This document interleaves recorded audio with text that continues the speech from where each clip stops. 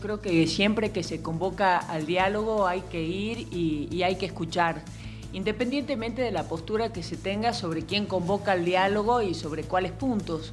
Y digo esto por lo siguiente, si hay una palabra que caracteriza a nuestro país hoy en día es la incertidumbre.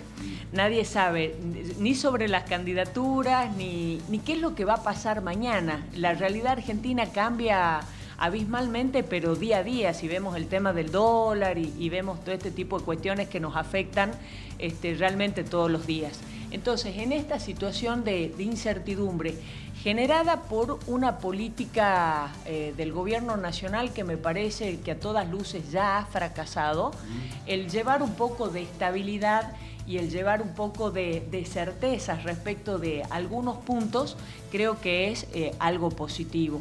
Independientemente que lamento los tiempos en que se convoca el diálogo, porque yo creo que eh, hubiera sido un buen momento la convocatoria del diálogo al principio de la gestión o antes de recurrir al Fondo Monetario Internacional, que en estas circunstancias donde el plan ya ha fracasado, donde el Fondo Monetario es un fantasma que ya es una realidad nuevamente en, nuestro país, pero bueno, eh, creo que cuando se convoca a hablar, sobre todo en un contexto tan complicado y tan difícil como el que estamos viviendo, producto, reitero, de las malas decisiones que ha tomado el presidente Macri, eh, bueno, hay que eh, escuchar más que nada pensando en la gente, más que en los dirigentes. ¿no?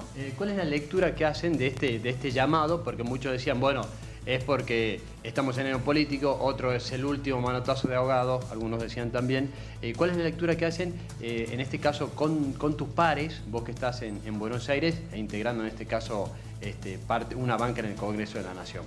Em, lo vemos como una cuestión este, eh, temporalmente tardía, creemos que es un llamado que llega y que llega tarde.